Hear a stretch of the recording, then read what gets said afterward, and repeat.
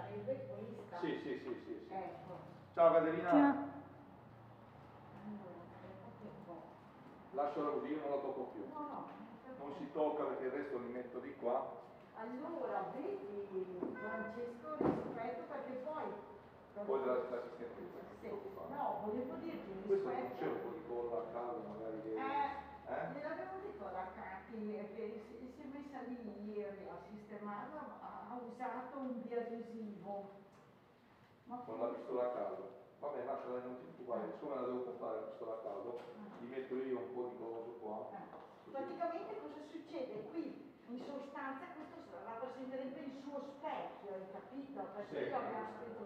E questo è un, lavorino che ha fatto la Caterina con il pirografo, mi Sì, pare. sì, sì, sì. Che l'ho fatto sempre durante il lockdown per scrittura.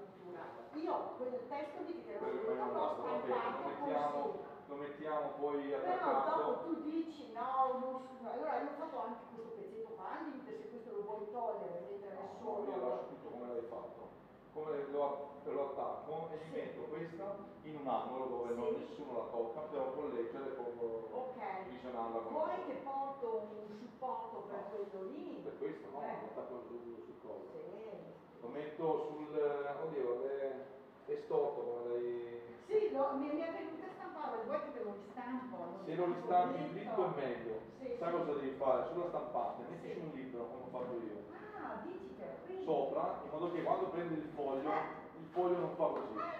Capito? Tu ti metti il libro e quello rimane bloccato. Ah, Perfetto, brava. Ah. Ok Francesco, siamo a posto allora. A posto così. Allora ci vediamo domenica Sì, mattina. sì.